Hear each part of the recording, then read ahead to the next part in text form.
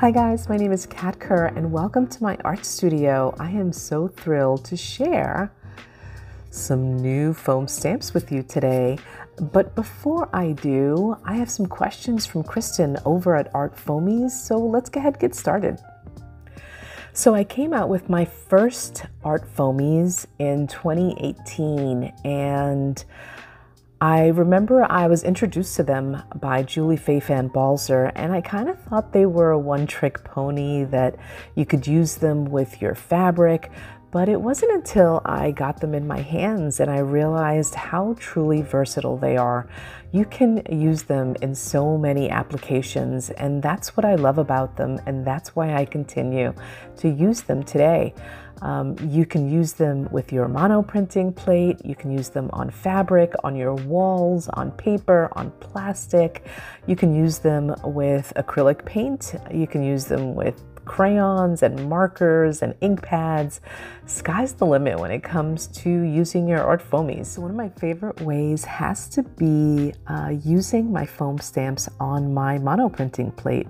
Now I love my gel press plate, but when I use my foam stamps, it's like taking it to a whole new level. And one of my favorite techniques has to be when I add acrylic paint to just one side of the plate and I spread it out with my brayer and then I take my foam stamp and I just press it into the acrylic paint. I lift it, move it over slightly, and then press that design onto another part of the plate that does not have acrylic paint. And I do this until the plate is full and then I pull a print and it's a fun and easy way to create monoprints using my foam stamps. Well, I don't think it's any one particular thing that inspires all of the designs. Since 2018, I've come out with a couple of different sets, and each set is inspired by something new and something different. Uh, but I will say that whenever I am designing a product, I'm always looking at my own work and figuring out what I feel is missing.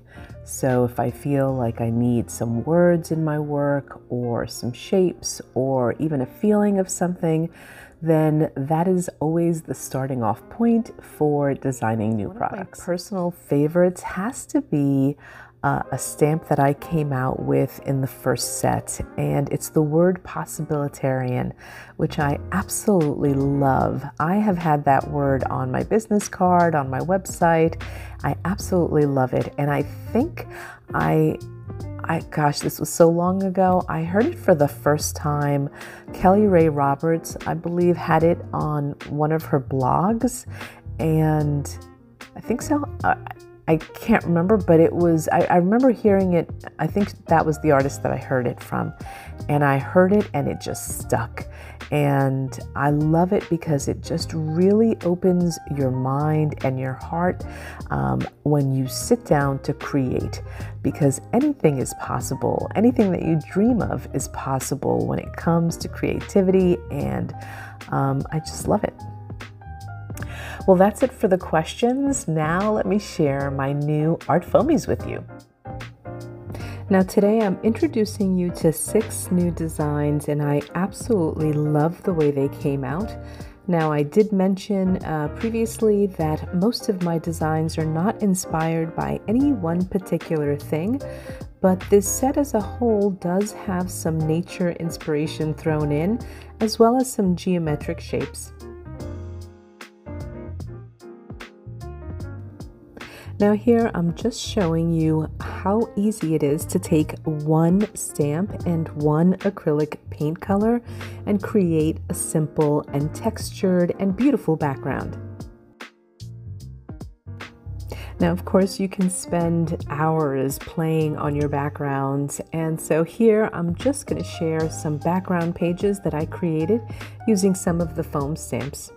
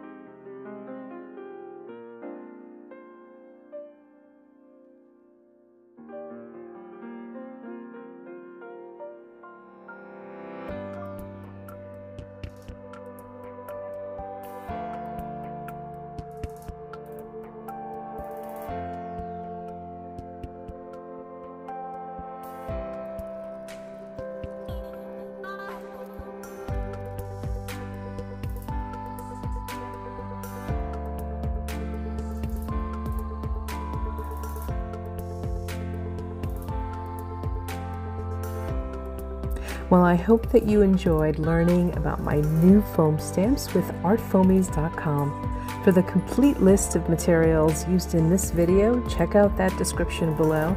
And to check out my new foam stamps, make sure you visit artfoamies.com. Thanks for watching.